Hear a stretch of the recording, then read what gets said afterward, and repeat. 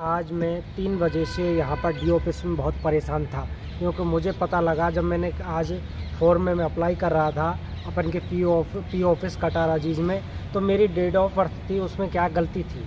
मेरी जो जिला परिषद से या डी ऑफ़िस से जो अपन की लिस्ट आउट हुई थी, उस लिस्ट में जन्म तिथि गलत थी और उसको लेकर पीओ साहब ने कहा था कि नहीं, ये तो आपको सही करवानी पड़ेगी, नहीं, आप अपात्र हो जाओगे। आपका आगे का कार्य रुक जाएगा, आपका फॉर्म नहीं लिया जाएगा। इस वजह से और उसके बाद फिर मैं यहाँ डी ऑफ़िस पहुँचा। डी ऑफ़िस पहुँचने के बाद यहाँ तक परेशान रहा।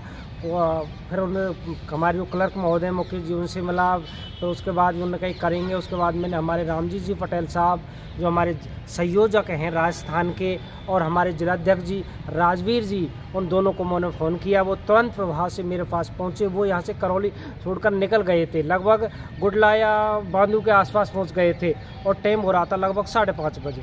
साढ़े पाँच बजे जब फ़ोन किया मैंने उन्हें कहा कि अभी अभी यहाँ से हुक्म जी और ये सर हमारे रिंकू जी इनका नाम थोड़ा कम जानता हूँ मैं, सर। और इन लोगों ने फिर तुरंत ही वापस आए और मेरी सहायता की। कलक साहब से मिले, उन्होंने तुरंत लेटर टाइप किया। डीओ साहब से बात करी। डीओ साहब ने कहा कि मैं साढ़े छः बजे आके आपके इस पर लेटर पर दस्तखत कर दूँगा और आपका कार्य हो जाएगा पूरा, सर। इसके लिए बहुत बहुत धन्यवाद देता हूँ। हमारे संयोजक श्री रामजी जी पटेल साहब, जिलाध्यक्ष एक बार हमारे राजवीर जी और हमारे डीओ साहब के लिए भी बहुत बहुत धन्यवाद देता हूँ, जो इतने बड़े अधिकारी होने के बाद भी मेरा काम करने के लिए रात के साढ़े छः बजे और घर किसी काम जाने जा, जाते हुए वापस आके उन्होंने कहा मेरा काम करने के लिए वापस आए धन्यवाद सर।